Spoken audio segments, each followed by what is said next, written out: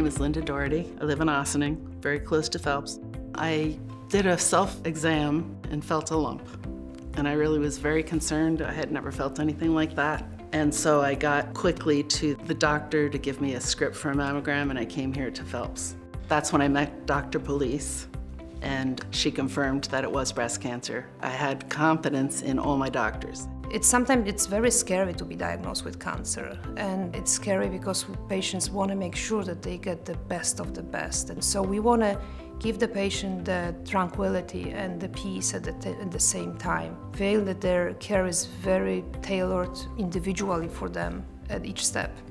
When the patient comes to us, we embrace the patient as a whole. And our intimate environment allows us to provide the care that gives the patient quality. At the same time, we can, by collaborating with other areas in Northwell and other teams in Northwell and experts, we can provide the cutting edge treatment. At every turn, each office, each group that I had to deal with were all the same in that they had a very compassionate, upbeat attitude and just made me feel comfortable.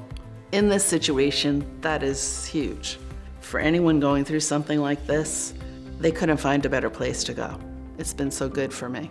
My second family here. I feel like I hit the jackpot.